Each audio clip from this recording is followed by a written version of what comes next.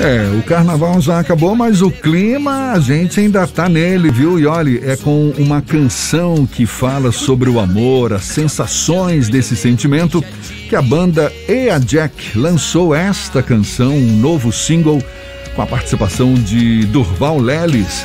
Ea Jack, banda que nasceu há sete anos em Lauro de Freitas, formada por Isaac Silva na guitarra e vocal, também Jorge Figueiredo no baixo, e com a proposta de levar o clima do pop nacional e internacional para o tradicional Axé Music. Isaac Silva e Jorge Figueiredo da banda Ea Jack estão conosco. Sejam bem-vindos. Tudo bom, Isaac? Tudo bom, Jorjão? Bom dia, Jefferson. Bom dia, Fernando. Toda a rapaziada da Tarde FM, isso é Bahia. Estão ouvindo a gente direitinho? Tá chegando sinal e tudo direitinho? Tá, maravilha, maravilha. Quem falou comigo oh, foi Isaac, não é isso? Isso, o barbudo, cheio, o cheio de cabelo é Isaac, o Exato. careca é Jorge. E o careca é o Jorge. bom dia, bom dia. Tudo bom? A gente está levando papo com os dois também pelo YouTube, vocês podem acompanhar a imagem dos dois aqui junto conosco. Poxa, que legal, parabéns desde já para animar o carnaval e o verão, né? Essa música que está chegando, né, não, Isaac? Isso, com certeza. Essa música está vindo com energia muito positiva, está tendo uma receptividade muito boa do público, da galera, dos fãs. E ainda mais dos fãs de Durval e tal, que estão apoiando a gente também, abraçaram também o projeto da IA Jack. Não só essa música, mas isso, essa música, essa parceria com o Durvalino, tá trazendo muitos frutos bons pra gente, que a gente vai colher lá na frente, com muita fé, com muita positividade, nesse verãozão que hoje é uma sexta chuvosa, mas o baiano é carnaval todo dia, né? Ele é verão, ele transborda isso, né? Então, isso pra gente aí está um, é um dos verões assim mais felizes que a gente está tendo de estar tá compartilhando a música com o ídolo, né? Com o nosso grande Durval Leles e tal. E é isso aí, né, Jorginho? Não, isso aí é uma honra, né? Porque pra gente, na verdade, o carnaval pro baiano é desde janeiro até março, né, praticamente. Isso aí. E eu Ele falei... trabalhando essa música aí, o retorno tá sendo maravilhoso, graças a Deus. E eu falei para animar o carnaval, porque vocês inclusive fizeram festas particulares, não é, de carnaval. A gente não Isso. teve a festa, claro, de carnaval, todo mundo sabe disso. Mas vocês se apresentaram em shows privados, não foi? É, devido ao formato, né, novo de carnaval, que para todo mundo se adequar, para todo mundo tá fazendo a festa da melhor maneira possível, né, com todo ainda com toda o que, que é possível fazer dentro do possível, com toda a segurança, toda a regularidade. A gente se apresentou eh, no, aqui em Vilas, fizemos umas festas particulares e foi, um, foi muito bacana assim, esse novo formato, né? Que 2021 não tivemos o carnaval, a gente ficou um ano, né? Praticamente sem tocar no, nesse período de carnaval e foi assim até interessante pra gente tá se adequando a esse novo formato, as pessoas também se adequando, isso foi muito recíproco, né?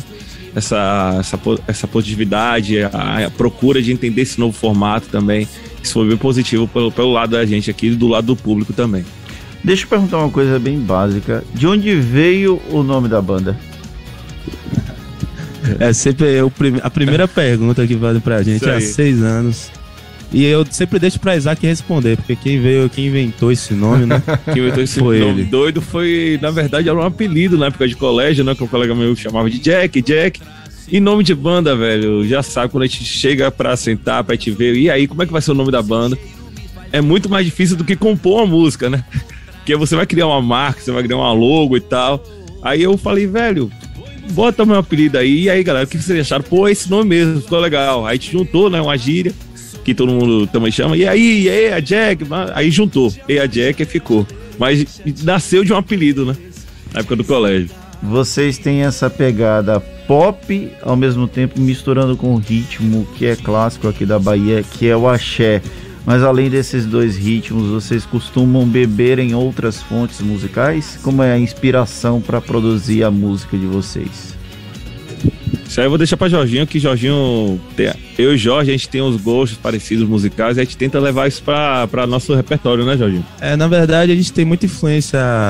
Na verdade, a banda começou, bem no começo, ela era pop rock, né? Isso. A gente tem influência de meio roqueira, assim, sempre gostou bastante. Só que não tem jeito, tá na veia mesmo, o axé. A gente sempre gostou, tem uma. Isaac também tem uma. Nós somos foliões. Uma vertente, né? Bem forte de axé. E aí, rapaz, o baiano é assim, a gente começou a ver a resposta do público e falou, é por aí mesmo, entendeu? Já que a gente gosta do pop rock, mas misturar com aquele axé para fazer aquele negócio bem baiano. É só ouvindo mesmo pra saber, né? É mais Aquela- ou menos uma mistura. É mais ou menos como as bandas começaram também na época do Jamil. Sim. Era na época do diário, era diário oficial, aí virou, se eu não me engano, Jeremias, aí depois virou Jamil, né? E o Asa de Águia também começou como rock. E a gente passou por todo esse processo, até de amadurecimento, de chegar a um som que hoje a gente já tá, já tem um trabalho de, sei lá, 10 músicas autorais, né? Em todas as Por- plataformas por digitais baixo. por baixo. A gente já começou a criar essa identidade de misturar e pegar essas referências até internacionais, vamos dizer, do pop, e juntar isso também para misturar, né? Porque a Bahia permite isso, né? A, a cultura baiana, ainda mais musical, ela permite essa mistura e se você parar para ver o Axé Music também, ela não tem uma própria definição. Você fala, ah, o que é o Axé Music? O Axé Music ele veio de várias misturas. O Axé Music é um movimento, né?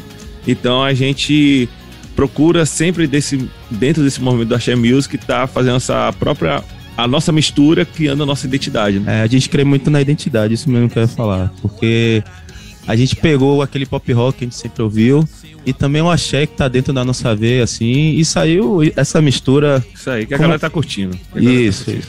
Como você disse, tem bastante liberdade, o axé dá bastante liberdade pra Aham. gente fazer essa identidade, assim, única, sabe? É, e como vocês bem falaram, o Axé Music é, acaba até sendo muito mais um movimento, mas que tem uma cara bem definida também. A gente observa desde o surgimento até o momento, digamos, mais áureo do Axé, com um estilo próprio.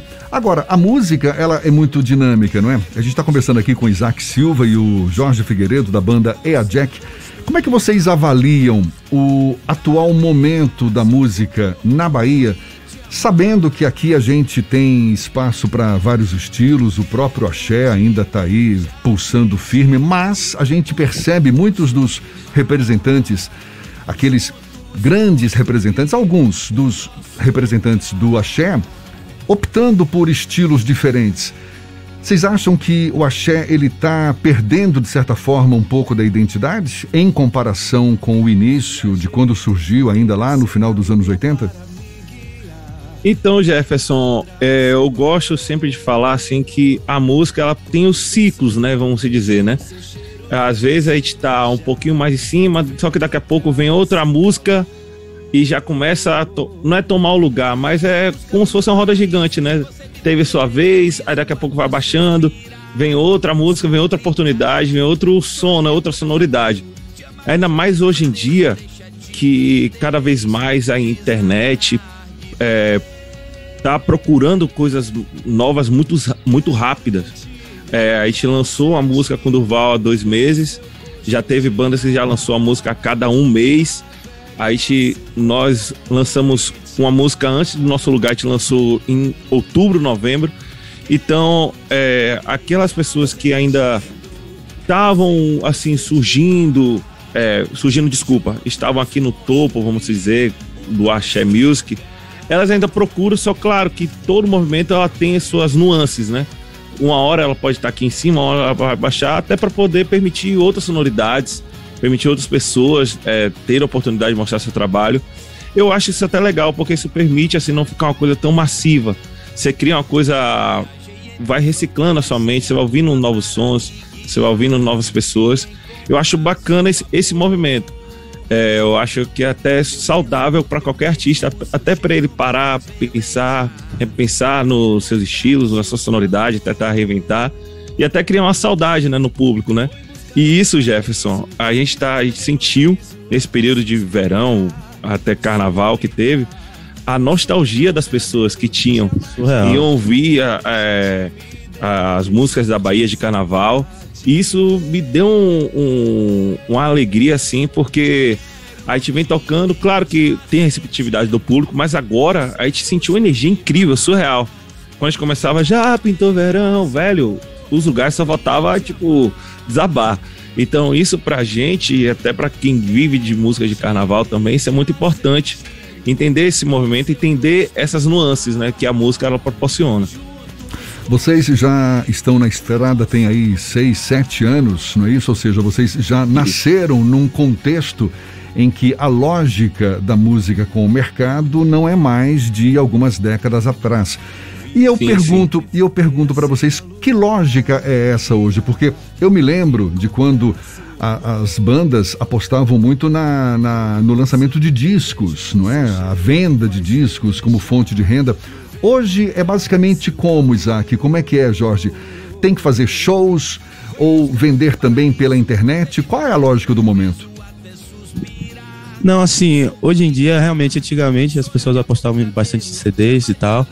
Hoje em dia a gente aposta bastante em CD também, mas a gente vai muito de single, porque a gente como o Isaac falou, hoje em dia essas redes sociais, assim, é uma coisa muito rápida, é uma coisa que daqui a um mês a pessoa já esqueceu, talvez, Até da música. o próprio algoritmo da, das plataformas, ela gera muito rápido. O próprio, vamos dizer, o Instagram, o Facebook, todas as redes sociais, o algoritmo é muito rápido. Hoje, aí antigamente, até para as bandas, a gente parava, as bandas paravam meses para lançar um álbum, para divulgar um ano, um ano e meio, fazer uma turnê. Hoje em dia os artistas entram no estúdio, aí um mês já tá gravada, já tá mixado, masterizado, já tá lançado. E assim vai, quando lança já tá fazendo outra música. Então, o mercado hoje em dia, ele assim, quem não se adaptou tem que procurar se adaptar, porque hoje em dia os CDs a gente gosta muito, como o Jorginho falou, a gente gosta muito de prezar a questão do, da mídia física, a gente imprime algumas, algumas cópias, para ter essa, a, o material físico, que é legal também, até para a banda ter como arquivo, né? Então, mas essa forma da hoje da música, ela se relacionar com o público, ela tá muito rápida. É não, não os singles, só, os singles estão tomando. Desculpa até, Jorginho, então, interromper. Que os singles estão tomando o lugar dos discos. Né? Sim, as redes sociais, em geral. Não só a música, mas, por exemplo, hoje você posta uma foto é uma coisa muito rápida, assim. É, Antigamente 30 tinha segundos já passou. Né? Aquele negócio de revelar e tudo mais. Tipo assim, tá tudo muito rápido, entendeu? É uma espécie de, é uma espécie de tem, consumo tem isso, né? fast food, não apenas de música, mas dos conteúdos em geral. Como é que vocês se isso. preparam para esse tipo de consumo que é diferente hoje? Por exemplo, a gente já começa a lidar com compositores que pensam a música para que haja um trecho que viralize no TikTok. Vocês têm essa preocupação de fazer com que a própria música também se adapte a esse processo? Claro, então, Fernando, esse processo, assim, ainda mais no meio da música, como falei anteriormente, de você estar tá antenado ainda mais nas redes sociais, isso serve para o nosso trabalho, da nossa música, a gente saber comportar, pô, a próxima música eu vou lançar Deixa eu ver o que está acontecendo na internet, deixa eu ver o que está acontecendo no mundo. Isso é muito importante entender, né? Porque não, não, hoje em dia a gente prioriza não só lançar uma música ah, por lançar. A gente tem que saber entender um contexto, ver é, será que esse andamento vai ficar legal de a pessoa ouvir no carro? Aí a gente pensa nisso, né? Será que a pessoa hoje em dia está voltando, né? Uma coisa que na época do do Asa, tinha a dança da manivela. Hoje as danças estão voltando com toda a força na plataforma do TikTok. E isso pra gente, a gente tá procurando se moldar isso, né? Os novos projetos que a gente vai lançar futuramente, é, a gente já tá começando a pensar nisso, nesse novo formato de TikTok, que até a música ser um pouquinho mais, é, mais rápida, ela mais rápida eu falo a duração, né? Porque o, o TikTok, refrão, né? o, o refrão bem... tem que ser tem que pegar, tem que ter essa coisa de gravar o TikTok com o refrão para poder propagar para outras pessoas. E um digital influencer está divulgando para, sei lá, para 50 mil de, é, é, seguidores. Até, até, as, até a gente vai fazer seis anos agora e a gente vê que seis anos atrás as coisas eram diferentes é, do que hoje. Mudou. A gente já teve CD físico, hoje em dia não tem mais tanto assim, a gente faz mais para guardar porque, por exemplo, no meu carro, não sei no seu, já que não pega mais CD. É os carros, né? Então, é. tipo, seis anos já mudou tanto, imagine 20, 30 anos, né? Que nem o axé tava no auge, aquela época, assim. Ou seja, a gente tem que ir se reinventando a cada é isso, mês. O acesso à tecnologia hoje em dia é muito importante para o meio da música, né? A pessoa tem que estar tá antenada a tudo, até a sonoridade da internet. Deixa eu ver o que está acontecendo, deixa eu ver qual timbre de guitarra, não sei.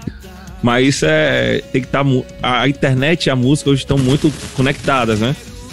A gente começou esse papo falando dessa música nova, esse single que vocês acabam de lançar e não falamos o nome da música, é, é Nosso Lugar, não é isso? Isso. Que é, isso. Com, é composição de quem, Isaac?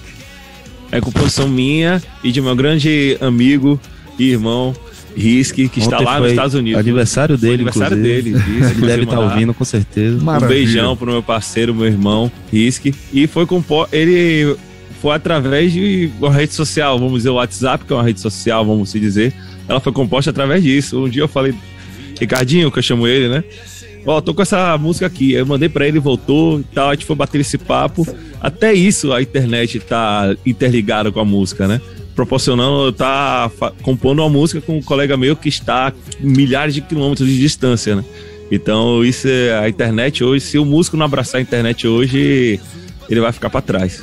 Parabéns. Então, nosso mais, lugar. Parabéns mais uma vez para vocês. Eu queria que vocês aproveitassem o espaço, convidassem nosso público para curtir não só a nova canção, como suas plataformas, enfim, a banda Ea Jack que está aqui conosco nesta sexta-feira aqui no Issa Bahia. Por favor, fiquem à vontade, Isaac e Jorginho. Diga aí, Jorginho, você que tem toda essa é. especialidade nos nossos shows. lá no, a gente está lá no Instagram, banda Ea Jack né? Tá escrita, às vezes as pessoas ah, não sabe, mas tá ali escrita ali embaixo mesmo. Banda e a mas Jack. Pra quem tá no rádio. Pra quem tá no rádio, é verdade. Isso aí, eu tô tá mexendo no show, né? Tem que é, soletrar. Quando ele vai beber uma água, Jack fala, com, com A, é, e a Jack. Banda né? e a Jack é a JACK, estamos lá no, no Instagram, no Facebook, também na, no Spotify, Deezer, iTunes, todas as redes sociais. Está lá nossas músicas autorais. Se você colocar no sua música também tem nossos shows ao vivo no YouTube, as lives. Tem muito material bacana. Bastante material. Então, coloca lá, Banda e a Jack. Inclusive, eu queria aproveitar o espaço também aqui, o, agradecer toda a rapaziada da tarde que teve uma música da gente que já foi reproduzida, foi a música Invertido. Foi mesmo? Foi, foi reproduzida aqui na tarde. Então, muito obrigado a todo o pessoal aí. Também mais uma música autoral nossa que foi reproduzida, Maravilha. que está no Spotify, Deezer, tem todas as plataformas aí pra galera curtir. Muito obrigado mesmo pelo, pelo carinho, pelo espaço, para estar valeu, demonstrando valeu. nosso trabalho. A gente que agradece, sucesso para vocês, Isaac Silva e Jorge Figueiredo, da banda Ea Jack. E essa nova canção, novo single, Nosso Lugar, que a gente curte mais um pouquinho. Um abraço para vocês, olha só.